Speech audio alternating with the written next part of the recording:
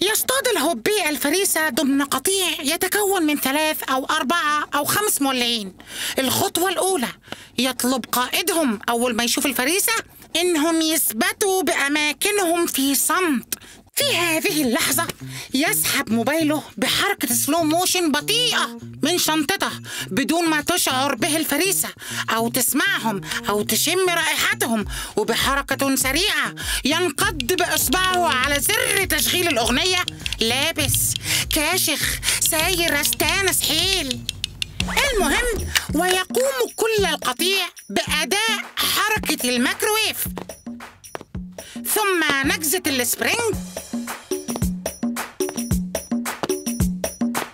يتبعها بحركة المنجنيق.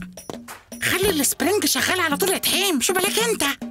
ثم نصف دورة يسار نصف دورة يمين. بعدين الهوبي!